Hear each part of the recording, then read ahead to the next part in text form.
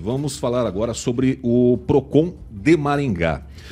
O Procon de Maringá bateu um recorde na questão de atendimentos, né? O órgão em 2023 foi destaque na gestão do Mantovani, né, que está à frente do Procon de Maringá. E para vocês terem uma ideia, o Procon vai passar dos 62 mil registros neste ano de 2023. É o número recorde na história do órgão de defesa do consumidor aqui de Maringá. Uma prévia realizada ontem, dia 28, indicou que são mais de 61 mil atendimentos né, esse ano. E entre esses atendimentos, tem algumas particularidades que inclusive foram criados aqui pelo Mantovani, que é o Procon do Povo, Procon em domicílio, Procon nos bairros, Procon nas feiras, Procon no servidor e assim por diante. E nós temos uma, um trechinho, uma fala aí do, do atual diretor do Procon de Maringá, o Flávio Mantovani. Vamos ouvir. Boa noite, meu amigo Osés Miranda e também quem nos acompanha aqui na Rádio Jovem Pan. O Procon da cidade de Maringá fecha esse ano de 2023 com um saldo extremamente positivo nós vamos passar aqui de 60 mil atendimentos no PROCON. Para você ter uma ideia, o ano não acabou ainda, a gente fez 62 mil atendimentos. Isso é muito, mas muito mais do que a média dos outros anos aqui do PROCON. É uma marca histórica que o PROCON da cidade de Maringá atinge pela descentralização do atendimento. Então, assim que nós assumimos aqui o PROCON de Maringá, a gente fez um trabalho de levar o PROCON realmente para os bairros da cidade de Maringá. Então, hoje, nós temos PROCON toda semana no terminal, todos os dias nos bairros, é, o PROCON na casa das pessoas, ou seja, a nossa principal missão é que o serviço do PROCON seja levado a cada maringaense, ou seja, todo mundo tem que saber dos seus direitos enquanto consumidores serem atendidos, é claro, aqui pelo PROCON. E obviamente que nós temos uma meta muito grande para o ano de 2024, que logo no começo agora desse ano a gente pretende fazer o PROCON digital. Então o PROCON de Maringá, além de ter esse grande atendimento, vai ser o primeiro PROCON do estado do Paraná até o atendimento 100% digital. O Calazans, eu quero ouvir de você, começando por você, que já foi, inclusive, diretor do PROCON de Maringá. É, esses números são os números né, consideráveis. Se a gente pegar o, a última gestora do PROCON, esses números são altíssimos. Agora, esse recorde, na sua opinião, se deve à competência do Flávio Mantovani, por exemplo, como advogado, o senhor também é advogado, ou talvez a competência dele como político e da intenção dele também de disputar é, o executivo ano que vem? Olha, o PROCON, eu até conversei com Flávio, Flávio há alguns dias, né? E a gente até mencionou essa frase. O PROCON de Maringá é um PROCON muito bem é, estruturado, se comparado a vários PROCONs municipais. O PROCON de Maringá certamente é um dos melhores do Brasil, se não o melhor do Brasil. E, e, o PROCON ele é assim, José, o diretor, se ele quiser ir lá, ocupar aquele, aquela cadeira e não fazer nada, deixar o PROCON rodar por conta própria, ele pode fazer. Se ele quiser fazer a diferença, tem muito espaço para isso.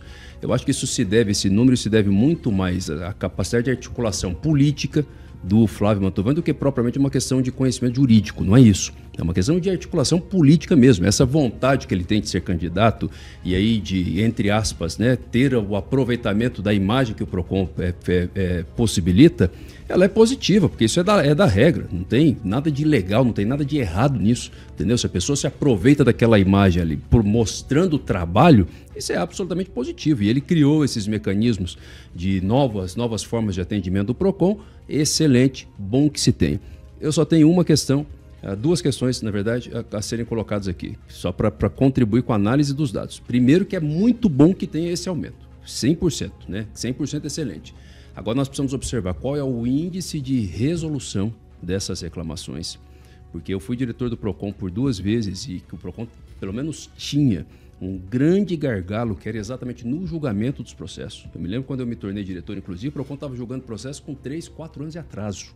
Entendeu? Então, se reclamação feita é, em 2019, né, de forma proporcional, não tinha sido julgada até 2023, por exemplo. Então, ou seja, não resolve muito só fazer a reclamação. Eu tenho que dar a resolução para o caso. Esse é um ponto né, que é importante para o PROCON avançar também. E o segundo ponto é que, particularmente, eu acho muito bom quando o PROCON ele também lança um olhar mais coletivo para as demandas. Então, por exemplo, quando você tem uma demanda de produto vencido, não adianta fazer uma reclamação individual de um produto vencido. Você tem que deflagrar uma fiscalização coletiva. Entendeu? Fazer uma apreensão total. Que aí você vai lá, faz uma ação coletiva, você evita mil, duas mil reclamações por uma atuação é, de iniciativa própria do PROCON. Isso não retira, só para encerrar, isso não retira de modo algum a excelência do trabalho que o Flávio está fazendo, em termos de, de, ampliação do atendimento. Não, eu gosto do Flávio Mantovani, é meu amigo, acho que ele está fazendo um bom trabalho, só que também, Ângelo Riguon, as pessoas é, falam muito da falta, às vezes, da ação do PROCON. Por exemplo, quando há aumento do preço do combustível, nos supermercados, né? nas filas dos bancos, agora acho que o Procon acho que efetuou aí algumas autuações em algumas agências bancárias também, aqui da cidade de Maringá. Será que não falta mais um trabalho mais consistente, maior nessa área? Esses gargalos menores talvez é, foram um fator fundamental para esses números? Qual é a sua opinião, Rigon? Não, é, além de possibilitar ao Flávio, se ele for candidato o ano que vem alguma coisa, né? Porque pode, pode até copiar a música do pai dele, final do pai dele. É, Flávio Mantovani é qualificação. Flávio Mantovani é. O homem da Moringa, né? O homem da Moringa. Não, mas olha, avançou muito o PROCON na mão do Flávio. Inclusive, isso que eu estava falando, a, redução do tempo de julgamento das coisas, das decisões, houve mais é, é, eficiência é, em relação a isso. E tem que se deixar bem claro, eu acho que isso é muito importante, você dar a César o que é de César, dar os devidos créditos no caso, do, desse lance da, da descentralização. A ideia de, do PROCON na casa das pessoas idosas que têm dificuldade de, de, de mobilidade foi do Magrão, que foi candidato a vereador e hoje está lá na Secretaria de Esportes e Lazer. E o Flávio abraçou a ideia e funcionou, tá aí, estão aí os resultados. Agora, a questão eterna dos combustíveis é difícil de resolver, não depende só da. não é do, da alçada do PROCON é, por inteiro, porque é a ANP que regula, não há tabela.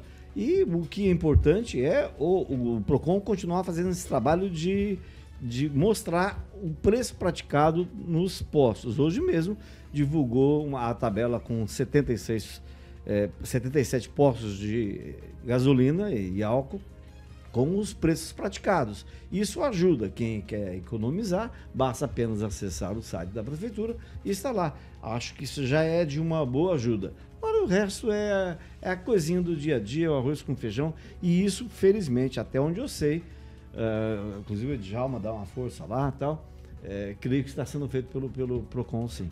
Regiane, o PROCON está fazendo um bom trabalho em Maringá, você concorda também com os demais colegas? Eu concordo, mas me assusta, né? 60 mil registros ali não deveria, né? As coisas deveriam funcionar de uma forma melhor para não haver esses números.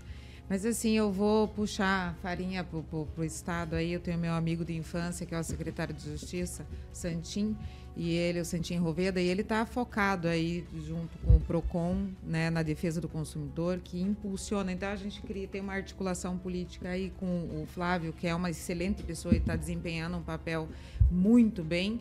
É, o que, que acontece? Bons resultados, né? Agora, assim, a captação deles. Os resultados, como disse o doutor Calazans aqui, a gente não sabe como é que está sendo para frente, né? Então, assim, vindo a modernização aí, com certeza, e infelizmente, vai aumentar os números, né? Porque o que mais a gente tem é reclamação. Né? É, e uma outra coisa também muito importante é a questão da divulgação do trabalho que o PROCON faz. Por exemplo, incentivar outras pessoas que às vezes é, a gente vê muitas pessoas sendo vítimas de golpes, caindo em golpes todos os dias, às vezes, né? principalmente na internet. E quando se tem um órgão que defende o povo e que orienta, eu acho que ajuda a diminuir esse tipo de situação, de golpes, né? Ou até mesmo você ser lesado por algum estabelecimento e assim por diante. É muito importante. É, é, o, duro, que, o duro que acontece. Que realmente sim, golpe seja... em tudo que é canto. É o que sim. você falou, é tudo que é canto. É golpe de, de banco, é mercado com produto, é loja, é telefone. Você está constantemente agora vivendo com golpes, né? Então, tá é, aí. Sim, e, e, quanto mais a gente orientar a população, mais fácil fica da, das pessoas tomarem ciência, né? Exatamente. Porque tinha golpe que a gente nem sabia que existia. Exatamente. E que o povo estava aplicando. Não, Antigamente vamos... era só golpe do bilhete, golpe é... não sei do que, um da outra. Não, mas é por isso, por isso que assim, por isso que ao lado dessas, é, dessas reclamações individuais é muito importante que o Procon tenha medidas coletivas também. Entendeu? Porque elas evitam, elas diminuem a quantidade de reclamações Só que elas têm um poder de eficiência maior, porque quando se tem as medidas coletivas do PROCON, que são aquelas medidas tomadas por iniciativa própria, as multas são maiores. Entendeu? Então o poder de punição do PROCON é maior. O que o PROCON aplica de multa em um processo individual é pequeno se comparado à mesma multa que o PROCON aplica coletivamente. Agora, o seguinte, essas multas dão em alguma coisa, Rigon? Deu alguma coisa, alguma multa que o PROCON já aplicou? Já... É, A questão antigamente era com o banco, né? Com quem tem dinheiro. Sempre quem tem dinheiro pode ter bons advogados, contratar e ficar enrolando.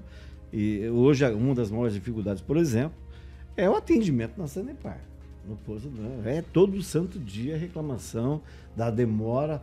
É, pa- ultrapassam a lei. A lei dos bancos aqui de Maringá do tempo é do, é do Ulisses Maia, quando ele era vereador. Ele é autor da, da, da lei. Mas é preciso, de qualquer forma, estar atento e forte. E não depender, procurar depender apenas do PROCON. O Calazans, de novo, tem razão a- a- em relação ao tempo da, da possibilidade de punição mais rápida do PROCON. E eu lembro aqui um fato do Ministério Público que, defende os direitos, eh, que era o doutor Kalash, hoje é é procurador, ele, eh, naquela final do campeonato de 2014, entre o Maringá Futebol Clube, na época era do Zebrão, não era, não era ainda da SAF, co- contra o Londrina, e venderam 8 mil ingressos a mais disso. e tal. Ah, houve uma. é, como é que chama? É, é é, por danos coletivos? Tem Isso, um é nome, o dano né? moral coletivo. É. E aí, quer dizer, mas ao final, demorou-se muito, né? E quando saiu o resultado, é só quem foi atrás que, que pôde receber. Não houve uma. Ah, devolve o dinheiro todo mundo que ficou de fora. Então, é, realmente, o que, o que é preciso, independente do órgão que lhe protege, que lhe dá garantia, é estar atento e forte e reclamar.